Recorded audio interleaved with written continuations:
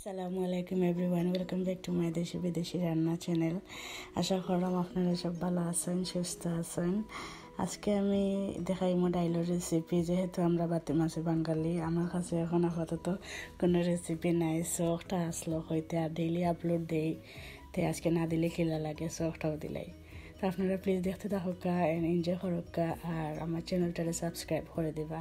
Thank you তো এখানেও দেখতে পারা, আমি ডাইলে বেলা জেনে দইয়া পানি দিলেছি দুই কাপ ডাইলের মাঝে চার গ্লাস পানি আর তেজপাতা দেখতে পারা, তিন চারটা তেজপাতা দিলেছি সো দিয়া এখন আধা চামচ হলুদর পাউডার দিলাইমু দিয়া তারপর পেঁয়াজ, আপনার মিডিয়াম পেঁয়াজ আছে নাইনি কোনো ওটার হাফর দেখাকে খাটিয়ে দিলাইমু আর লবণ দিব আর কি। সো আপনারা প্লিজ মাইন্ড করবেন না, আমি ডাইলের রেসিপি দিছি। কারণ সবই তা পারে বাট আমার কাছে নাই যেহেতু আমি ওটাও দিছি। এখানে দেখতে পারা লবণ দিলেছি স্বাদ মতো আর কি, যে জেলা বালা পায় আর কি ওলা। বাদে কুক করছি দশ থেকে বারো মিনিট। ওলাইব আর এটারে ইংলিশে কিতা কয় যে গুটন ডাইল গুটন আমি জানি না। সো আপনারা কেউ যদি জানিয়া তখন এটার ইংলিশ কিতাতে আমার জানাইন জানি। দেখতে পারা কেন আধা চামচের মতো আপনার আদা দিলাইছি বারিক বারিক করে কাটিয়ে আদা দিলে যে ঘেরান করে সো আপনারাও যদি আদা দিন না, তে দিবা, দিয়া দেখবা যে মজা লাগে ঘেরান করে আর এনে দেখরা আমি বালাজিনে ডাইল যখন বালাজিনে গুটি আইও করে লিছি, তখন কতটি মরিচ দিলাইছি কাঁচা মরিচ। তো কাঁচামরিচ দিছি, আর যেহেতু আমরা একটু জাল খাই কাঁচামরিচ গালিয়া খাই, মজা লাগবো।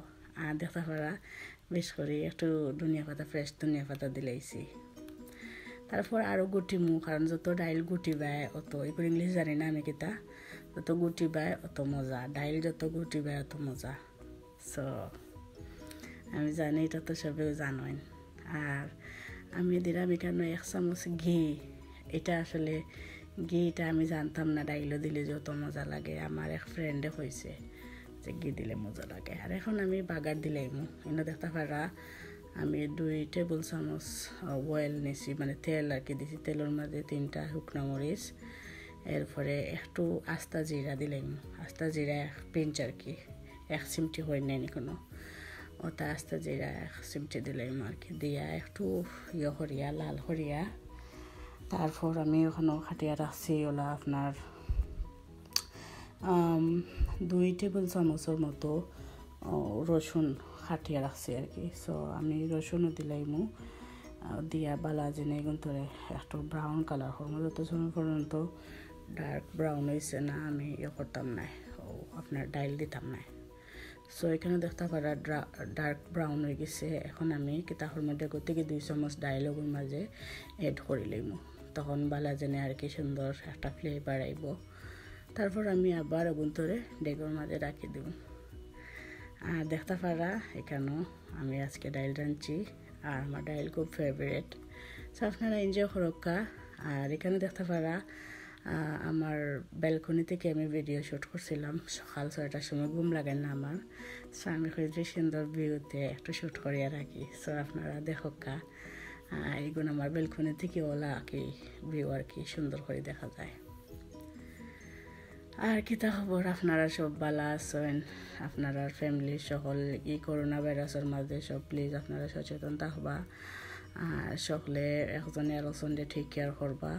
এখানে দেখছেন একটা একটা কবুতর উড়াল মারি আইয়া বইছে এখনও। যে সুন্দর লাগছে আমার। আর দেখক্কা বালা থাকা আর প্লিজ দয়া করে আমার চ্যানেলটারে সাবস্ক্রাইব করে দিবা। আর লাইক করবা শেয়ার করবা কমেন্ট করবা আর ওখানে পাশে থাকা একটা বেল আইকন আছে ওটারে প্রেস দিলাইবা আর এখানে আমার বোন ফুটে। আর বোন ফুটে যে একটা কারবার করছে আর কি যে। পানি লাগে। একটা ডিপ্রেশন কিতা হতো কিতা হতো প্লিজ কেউ মাইন্ড করবেন না ফেভারিট ছোট করার লাগে এটা দিছি না। জাস্ট আপনারা একটু এন্টারটেইন করার লাগে। ভিডিওটা দিছি দেখবানে হে করে উষা করি বই থাকছে দেখবানি।